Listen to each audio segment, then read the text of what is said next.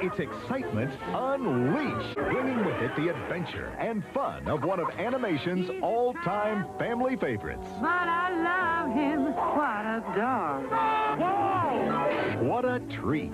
Yeah. Now in a limited holiday engagement, it's Walt Disney's classic Lady and the Tramp. Only on Django's channel. That's right.